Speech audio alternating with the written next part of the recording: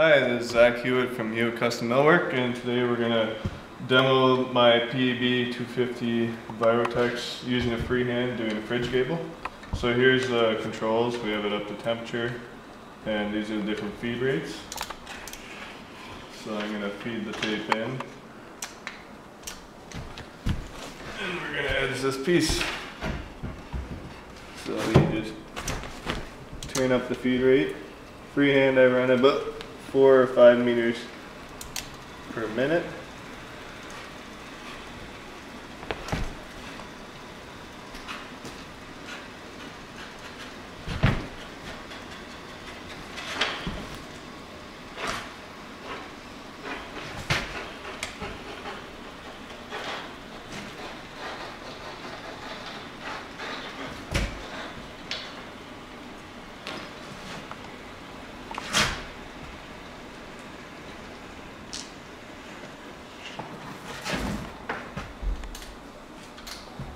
And there you have it.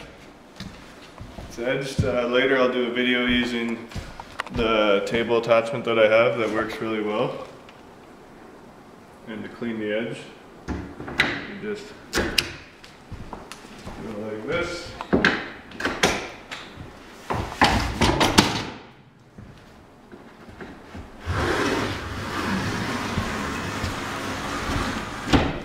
And it's done.